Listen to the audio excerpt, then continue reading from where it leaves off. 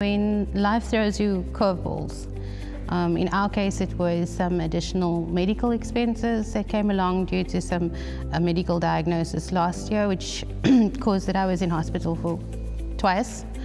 Leveraging the actual property that we have to consolidate you know, debt, for example. So that was very, very helpful and, and really quite an amazing experience.